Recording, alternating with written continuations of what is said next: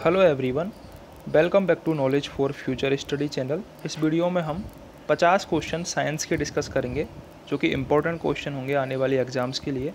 अगर आप चैनल पर नए हो तो सब्सक्राइब ज़रूर कर दें चैनल को। पहला क्वेश्चन है, जल की स्थायी कठोरता का क्या कारण है? कैल्शियम और मैग्नीशियम के क्लोराइड ये जल की स्थायी कठोरता के कारण है। जो टेम्प्रेरी हार्डनेस होती है परमानेंट हार्डनेस की बजाय जो टेम्प्रेरी हार्डनेस होती है अस्थाई कठोरता जो होती है, वो कार्बोनेट्स के कारण होती है, ना कि सल्फेट और क्लोराइड के कारण। इनमें से कौन सा भारी धातु है? यूरेनियम एक प्रकार का भारी धातु है। हास्य गैस कौन सी होती है? नाइट्रोजन डाइऑक्साइड ये है जो हाइड्रोजन हास्य गैस होती है नाइट्रोजन डाइऑक्साइड ठीक है?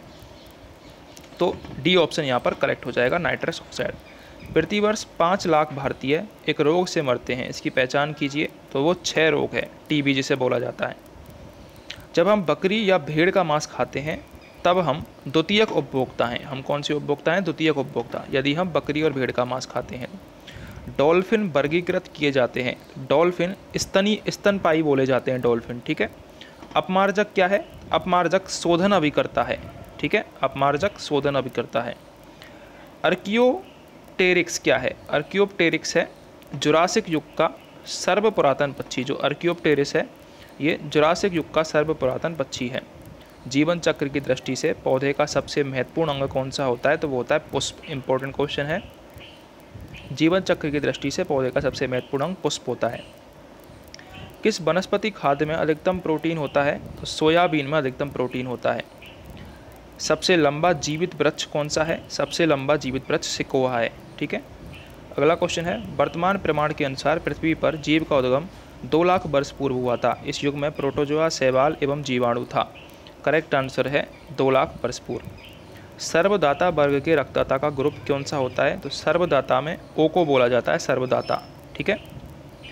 एस्पिरिन क्या है? एस्पिरिन एक एंटीपायरेटिक दवाई है। बी ऑप्शन करेक्ट है एस्पिरिन एक एंटीपायरेटिक है। एक सामान्य शुष्क सेल में विद्युत अपघट्य किसका होता है? तो सल्फ्यूरिक एसिड विद्युत अपघट्य मिलाते हैं एक सामान्य शुष्क सेल में H two S O four dynamo क्या होता है? डायनामो यांत्रिक ऊर्जा को विद्युत ऊर्जा में रूपांतरित करता है, मैकेनिकल एनर्जी को इलेक्ट्रिक एनर्जी में कन्वर्ट करता है।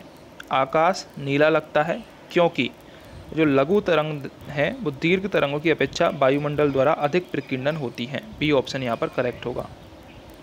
एक माइक्रोन किसके बराबर होता है? तो एक micron one upon one thousand millimetre के बराबर होता है। अति चालकता का लक्षण क्या है? उच्च पारगम्यता, ये अति चालकता का लक्षण है। अगला क्वेश्चन है वर्ष दीर्घतम होता है तो दीर्घतम किस पर होता है? प्लूटो पर सबसे, क्योंकि प्लूटो सबसे अधिक दूरी पर है। वर्षा की बूंद की गोलाकार आकृति का कारण क्या होता है? तो पृष्ठ तनाव, जिसको सरफेस टेंशन बोलते हैं यह वर्षा की बूंद का गोलाकार आकृति होने का कारण होता है। कमरे में रखा रेफ्रिजरेटर का दरवाज़ा यदि खोल दिया जाए तो आप अंततः कमरे को थोड़ा गर्म कर सकते हैं। यदि रेफ्रिजरेटर को खोलेंगे तो कमरा गर्म हो जाएगा। सी ऑप्शन करेक्ट है। किस खनिज से रेडियम प्राप्त किया जाता है? तो रेडियम पिच ब्लेंड से प्राप्त किया जाता है। इंपॉर्टेंट है। परमाणु बम का सिद्धांत कौन सा है? परमाणु बम नाभिकीय विखंडन पर आधारित है और सूर्य में नाभिकीय संलयन होता है।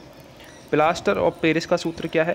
प्लास्टर ऑफ़ पेरिस का सूत्र है C S O four twice H two O नींबू खट्टा किस कारण से होता है? नींबू में सिट्रिक एसिड पाया जाता है। इंपॉर्टेंट क्वेश्चन है। यदि सिरके की बात आए तो एसिटिक एसिड और नींबू की बात आए तो सिट्रिक एसिड उसमें पाया जाता है। वायु क्या है? वायु एक मिश्रण है। ब्रंजक चूर्ण के लिए कौन सा कथन असत्य है? यह जल में अधिक विलय होता है। ये कथन असत्य है। जल में विलय नहीं होता है। पारद धातु। पारद धातु मिश्र धातु होती है पारद युक्त धातु होती है, वो मिश्र धातु होती है।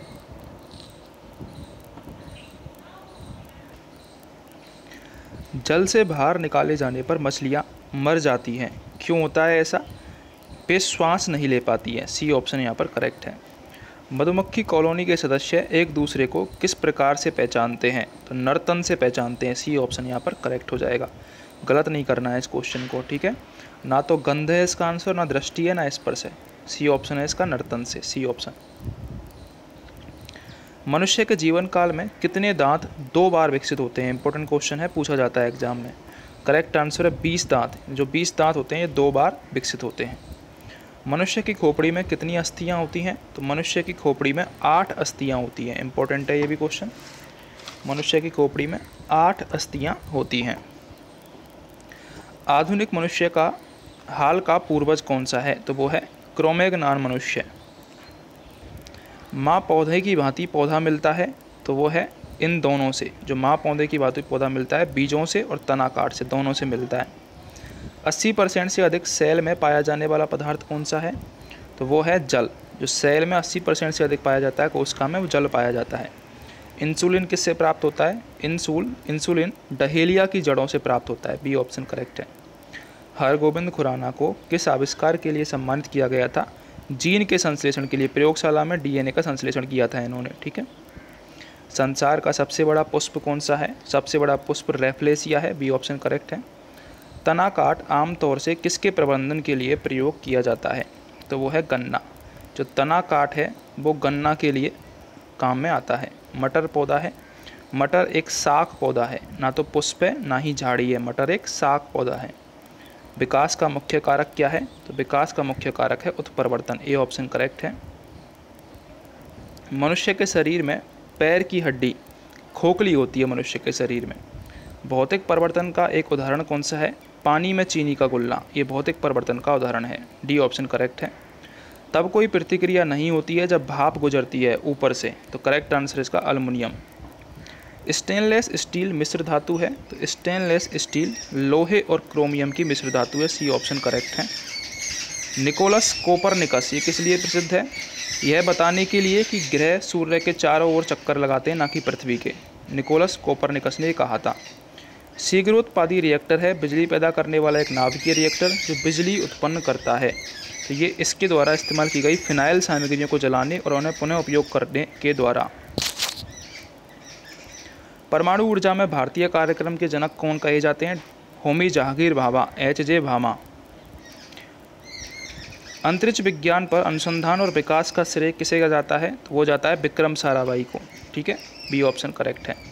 अगर आपको क्वेश्चन हेल्पफुल लगे हों तो चैनल को सब्सक्राइब ज़रूर कर दें।